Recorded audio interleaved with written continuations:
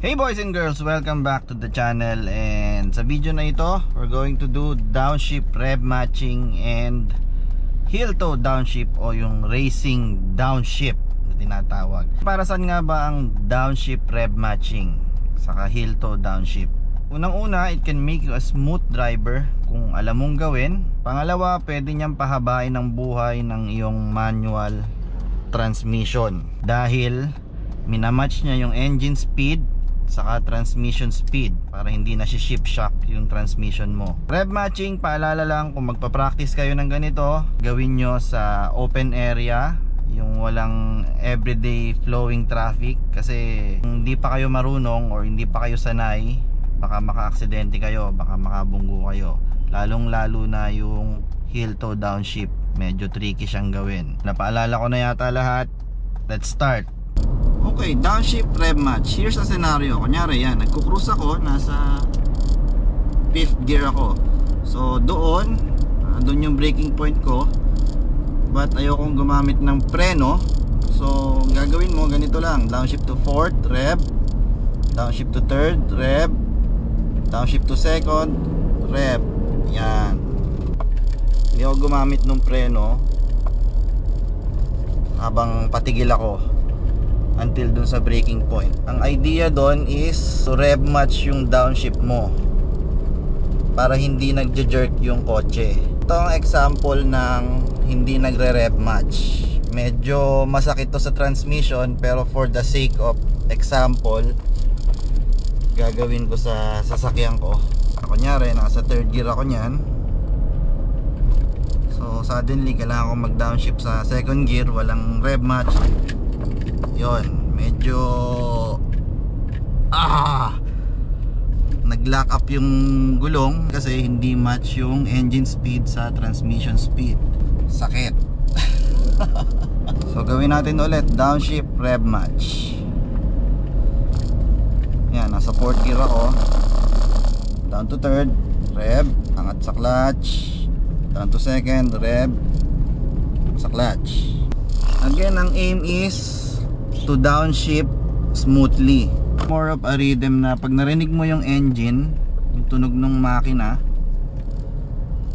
tapos binitawan mo yung clutch mo mapapansin mo pag match siya parang magandang pakinggan. Pero pag over dumadaos-dos ka naman na pag ganun pag medyo na over rev match mo siya or pag bitin ganun din magja-jerk din siya. Okay ulitin natin yan fourth gear fifth so may braking point tayo. Limbawa doon. Downshift to fourth rev. Downshift to third rev. Downshift to second. Yan. Walang jerking sa transmission minamatch mo yung engine speed and transmission mo. Hindi nagla-lock up yung tires on downshift. Yun ang nagkukos ng upsetting ng kotse. So mararamdaman mo nagja-jerk yung sasakyan. Which is not a good feeling. Rhythm lang. Minsan nahuhuli ka. Pag nagsasanay ka pa lang mahuhuli yung bitaw mo sa clutch. The best na tip kapag yung rev mo tumigil na ng pagtaas doon mo bibitawan yung clutch. Not the best demo car para ipakita ko kung paano. Kasi diesel nga mabagal ang throttle response. Pero as long as it's manual with 3 pedals pwede naman. Another scenario kunyari nagko-cruise ako tapos kailangan kong um-overtake. So magda-downshift ako sa nasa port tayo. Gusto kong mag-downshift sa third gear. Clutch in. Yon ilan to? Ito example. Nasa fourth tayo. Third. Second. Heel and toe naman. Same din siya ng downshift rev match. Pinagkaiba lang. Gagamitin mo yung tatlong pedal.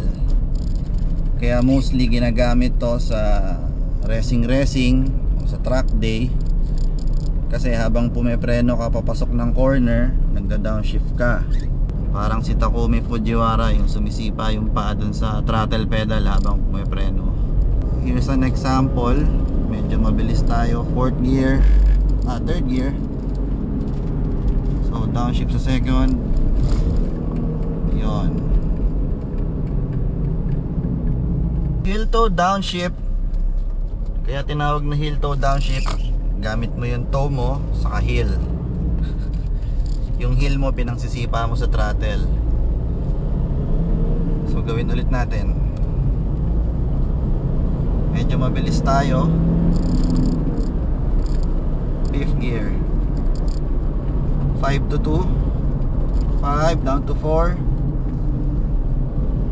3 2 pwede rin naman siya kahit mabagal pero mas mapapractice mo siya kung medyo mabilis yung kotse kasi iba-iba ang lalim ng apak ng pedal ng preno. Kahit sa daily driving routine pwede rin. Gaya nito, hindi naman tayo mabilis then suddenly ah, naisip ko naisip ko mag heel and toe. And again, it's more of a rhythm saka muscle memory. At first, tricky yung heel and toe downshift. Nung nagsisimula kong inaral yan uh, dumadaos-dos ako sosobrahan sa preno. Saka sa diesel mas tricky yung downshift sa second gear kasi masyadong malakas ang torque. Mga diesel malalakas ang torque. So third gear. Fourth gear. Down tayo third on wow. LC 200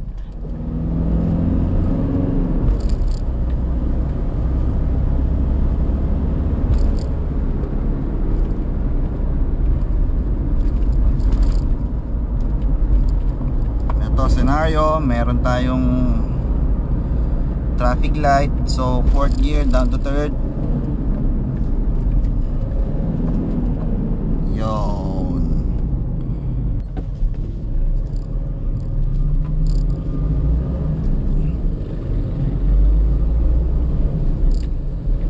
downshift rev match. Nasa third gear. Second. Papo may preno.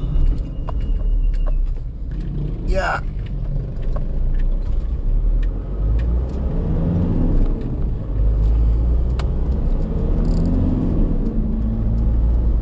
Okay, heel and down to second. Blip. While braking.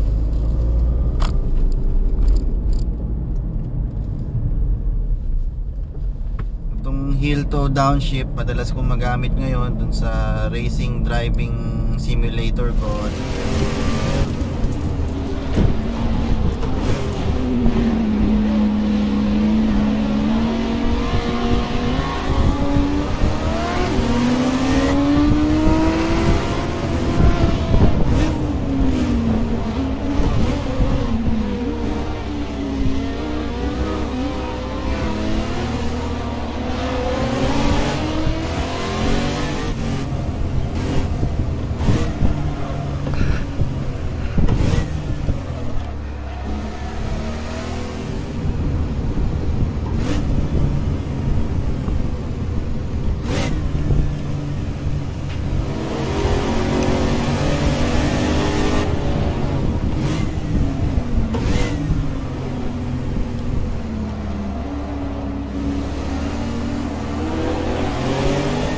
Well, kung gusto nyo pa makakita ng gantong mga content, click nyo lang yung link na yan sa top right of your screen or click the link in the description below.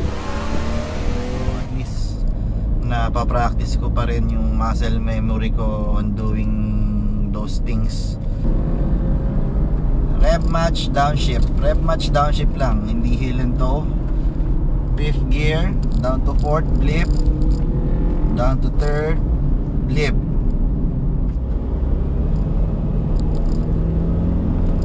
ilan to ulit? Second gear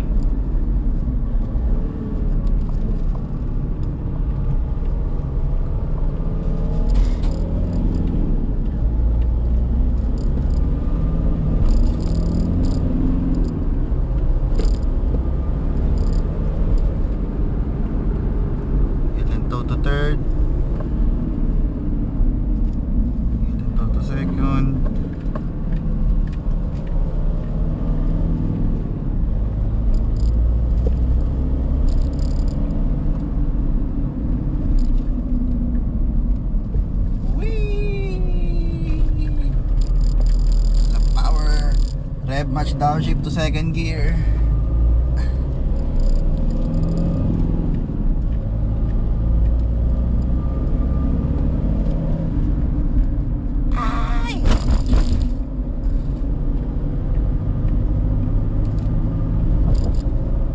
Ilan to? 3, 2 3 Yon Anyway, that's it for this videos guys. Again, practice kayo sa open space Dun sa walang flowing traffic. And I hope this covers all the questions you might have.